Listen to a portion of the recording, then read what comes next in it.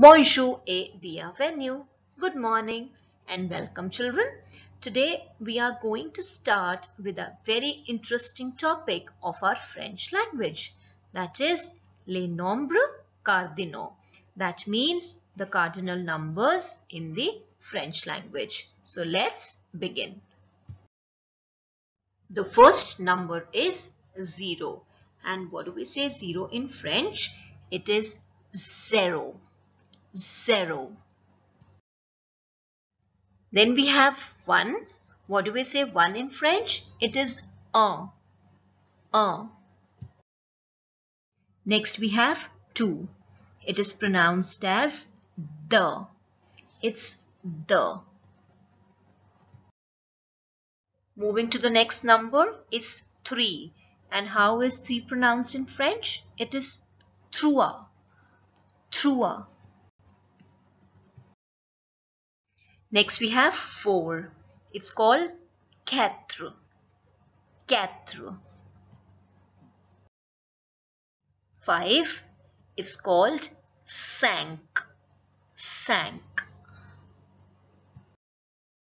Next we have 6. It is called six. Children, you can see that uh, the spellings for both of them are the same in French as well as in English, but the pronunciation is different. It's six.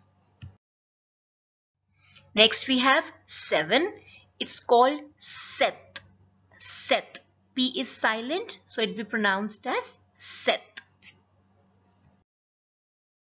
8. In French, it's called huit. It's huit. 9. It's called neuf it's neuf. Moving to 10, it's called dix. Dix. Let's see number 11. It's called onze. Onze. Next we have 12. 12 is called douze. It's douze. Moving to number 13. It's called Treize. It's Treize. Next we have number 14. It is called quatorze. It's quatorze. Moving to the next number that is 15. It's called quinze. It's quinze. Now we have number 16. It's called seize. It's seize. Now children see number 17. How is it pronounced in French? So it becomes 10 plus 7. So it is dix sept. Dix is 10 and sept is 7. So it is dix sept. See number 18. It is also pronounced in the same way. It's again 10 plus 8. So it will become dix huit it is dix huit. Now we have number 19. It is also 10 plus 9. So it will become dix neuf. It is dix neuf. Moving to the last number, that is number 20, and it is called wa. It's wa in French. So children, it's time to review all the numbers again. So I'll start.